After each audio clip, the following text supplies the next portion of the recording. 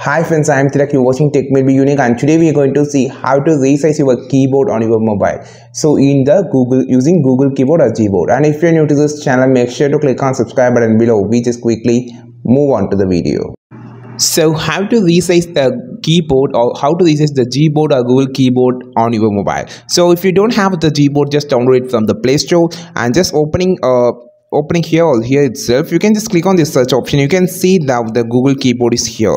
So to resize it just click on this icon option and you will see an option called resize. Click this and you can just resize it like this. And if you want a more to resize you just click on the hold the center button option to move up and down. And click ok. You can see now it's a bigger keyboard. So you can use it on every application. You can see this is the biggest resize of this you can just decrease the size just click on this and click on the resize option and you can decrease the size up to like this also or like this also. You can see the red border which shows the maximum size of the keyboard and you can just if you want to reset it just click on this which actually reset to the original position and click ok. That's it. This is how you just resize the google keyboard on your mobile. I think this video helped you a lot. Like this video share this video subscribe this channel. We will meet our next video with a super valuable content. This is tilak signing off from Tech Made Me Unique. Have a wonderful day